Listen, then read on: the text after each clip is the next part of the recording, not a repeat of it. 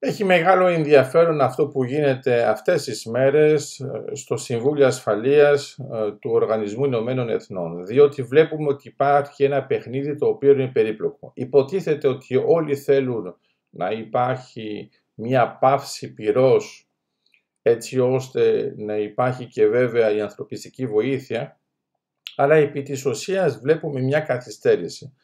Από τη μια πλευρά είναι τα κράτη που απλώς ακολουθούν την πλειοψηφία, από την άλλη πλευρά είναι η Αμερική που ε, ενώ ξέρουμε ότι πιέζει πάνω στο Ισραήλ για να ε, λειτουργήσει καταλητικά το θέμα της εμπόλεμης κατάστασης και να κλείσει όσο πιο γρήγορα γίνεται, ταυτόχρονα κερδίζουν χρόνο διότι βλέπουν ότι οι άλλοι θέλουν μια ειρήνη η οποία είναι πλαστή και ουσιαστικά βοηθάει έντεχνα την τρομοκρατία. Κατά συνέπεια, επειδή και οι άλλοι στο Συμβούλιο Ασφαλείας δεν θέλουν να βρεθούν αντιμέτωποι πάνω ε, στο θέμα αυτό με ένα νέο βέτο της Αμερικής, προσπαθούν τουλάχιστον να υπάρχει ε,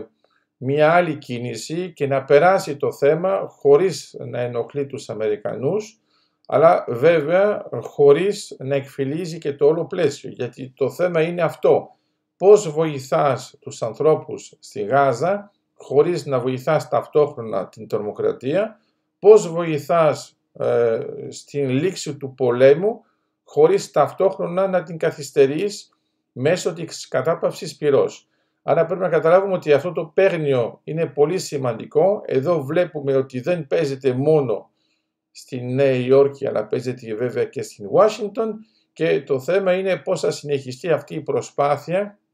και να λειτουργήσει θετικά για την επίλυση του προβλήματος. Αυτό όμως που καταλαβαίνουμε ε, από κάτω, ε, από τους χάρτες και όλα αυτά που εξηγούνται επίσημα, είναι ότι στην πραγματικότητα κανένας δεν θέλει να διαχειριστεί πραγματικά την Χαμάς επιτόπου. Θέλουν να υπάρχει μια νέα Παλαιστινιακή αρχή και κατά συνέπεια μια απλή πάυση πυρός